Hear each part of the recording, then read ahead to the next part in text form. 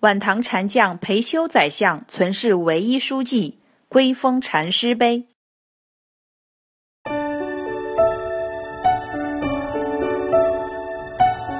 禅陵编者案：晚唐名相裴休禅和，既是宰相，亦是书法家，能文能武，与同时代的柳公权同朝为官，在书法上与柳公权长期合作。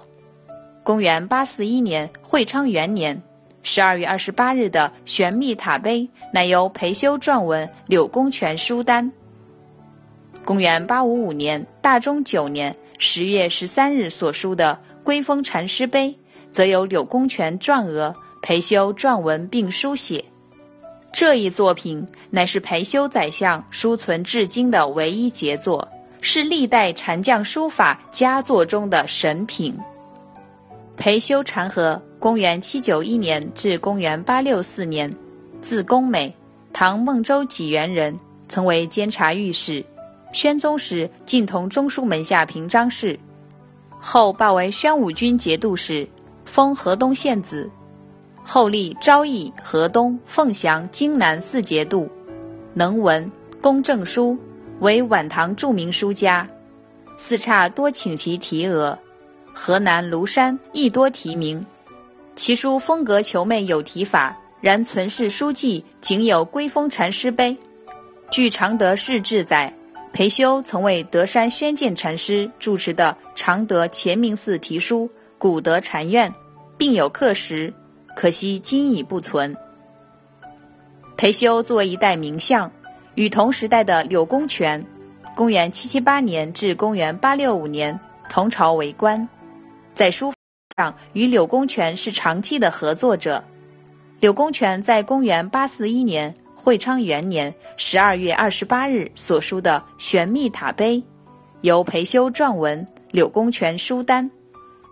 裴休仅存的书法名作，公元八五五年大中九年十月十三日所书的归封禅师碑，由裴休撰文并书写，柳公权撰额。归峰禅师碑全称唐固归峰定慧禅师传法碑并序。归峰宗密禅师为草堂寺高僧，曾经师事成观法师，为华严宗第五代祖师。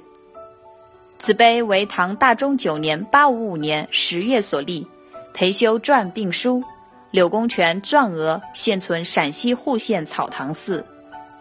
碑高二百八十二厘米。宽一百三十四厘米，碑文正书，凡三十六行，行六十五字，额篆书九字，唯在清末时曾横断一道，使不少字受损。此碑笔笔谨严工整，清劲潇洒，结构尤为精密，取法于欧柳，形态较柳书更劲健。书风兼有刚柔，清劲潇洒，帅意天成，法度严谨，是晚唐佛寺碑铭神品，也是楷书不可不学的唐碑。此碑可与玄秘塔碑、裴正文柳书之互相参照，了解裴柳两人字体的异同。此碑备受历代书家推崇。宋米芾《海月名言》评。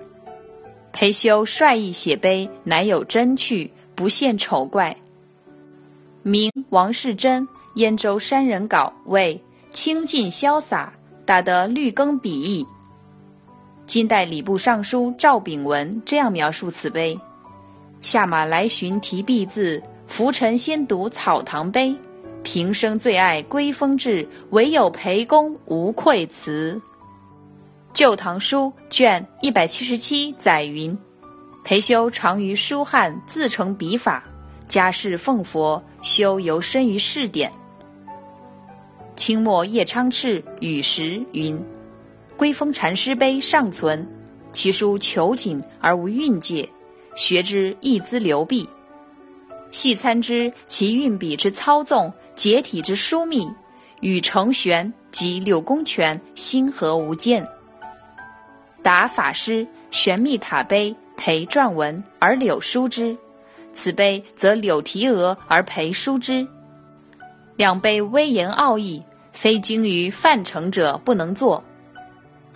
其文故宜出于一手，窃讶裴之书又何以神似柳？继而豁然悟曰：此碑亦裴传而柳书，特书单时并题裴一二。叶昌炽此说有失公允。西岸归风禅师碑，二者虽然风格相近，但是仔细辨去，其笔画结体还是有很多明显差异。裴书结体近方，柳书趋于瘦长。裴书步白庭云，柳书中宫紧静。裴书实用行书笔意，如为、谁、叶等；柳书则纯为楷法。裴叔如青渠高僧。安详平和，柳叔则如耿直硬汉，铁骨铮铮。